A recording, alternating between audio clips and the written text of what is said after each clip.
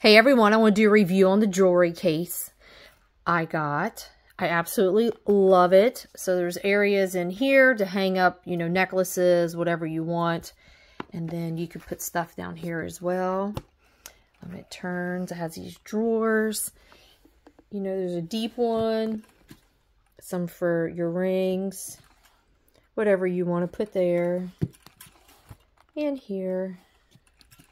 And then up here as well turns again. Over here, you have another section for, you know, whatever you want to put in here as well. So there's two of these. And this side, you know, you can hang whatever you want here.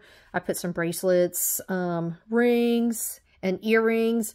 This holds two fours. One, two, three, four, five, six. One, two, three, four, six. So it holds about 24 pairs of earrings.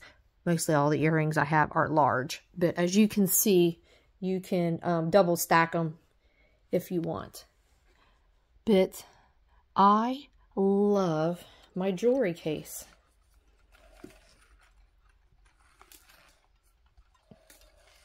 So like and follow me for more videos and happy shopping.